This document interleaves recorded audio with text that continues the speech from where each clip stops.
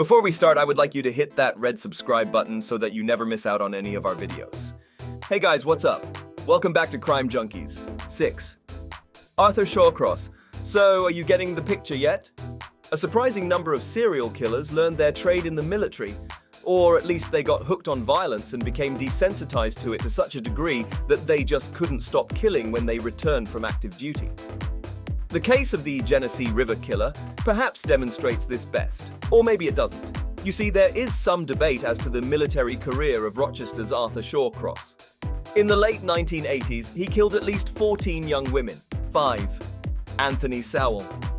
Between May 2007 and September 2009, Anthony Sowell committed 11 brutal murders that would earn him the nickname the Cleveland Strangler. A violent crack cocaine user, Sowell's violence against women started when he was young. From age 11, he raped his young niece on an almost daily basis. This carried on until he was 19 years old. Six a decade later, Sowell was jailed for 15 years for kidnapping and raping a pregnant woman. Once out, he began a campaign of terror and murder that would see 11 young women die at his hands. Between 1978 and 1989, though, Sowell, it seems, quelled his violent instincts at least long enough to dedicate himself for more than a decade to the United States Marine Corps. Sowell knuckled down in the Marines, reaching the rank of corporal. 4. John Allen Muhammad. If there's one thing you could say about John Allen Muhammad, it's that he was a damn good sniper. Between 1991 and 1994, he was a respected marksman in the Gulf War, earning himself an expert rifleman's badge.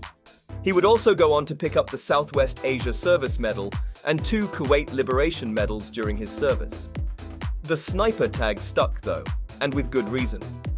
Since 2002, the Baton Rouge-born Muhammad has been known as the Washington Sniper. His army training was put to grotesque use against the citizens of the country he had once served but now hated.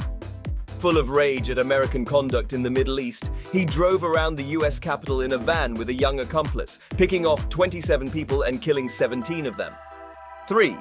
Howard Unruh. Eerily similar to the Washington sniper case is the story of Battle of the Bulge hero Howard Unruh. Some 50 years before Muhammad took his firearms training live onto American streets, decorated US Army tank soldier Unruh became America's first rampage killer after taking what came to be known as his Walk of Death. It was around 9.20 a.m. on September 6, 1949, when Unruh stepped outside of his Camden, New Jersey home. It was a bright and busy morning in the neighborhood and people milled about around him. Not long after leaving the house, he pulled out his trusty Luger P08 pistol and began firing.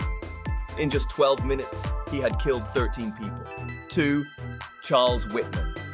The Texas Tower Sniper earned his nickname after climbing to the top of a tower at the University of Texas in Austin and calmly shooting dead 14 people and injuring another 31. It was 1966 and Charles Whitman's actions shocked America. That shock turned to horror when it was announced that Whitman was a decorated Marine who had only just been discharged from active duty. While in the military, he earned a Marine Corps Good Conduct Medal and the Marine Corps Expeditionary Medal. He also received special training by the Naval Enlisted Science Education Program, a covert intelligence agency. When it came to marksman, Whitman was as good as it got. On August 1, 1966, he would prove to the world just how good a shot he was and in quite a devastating style.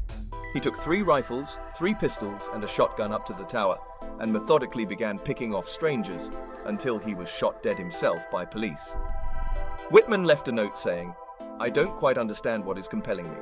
I have been to a psychiatrist. I have violent impulses. 1.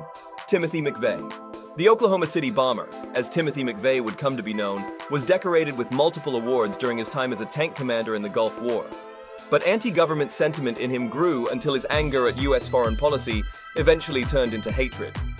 And out of that hatred, a plan was born. Soon McVeigh was driving a truck full of explosives into downtown Oklahoma City and blowing up a federal office building. Just a few years previously, McVeigh had left the US military with a Bronze Star for heroism. He was even invited to try out for the Special Forces.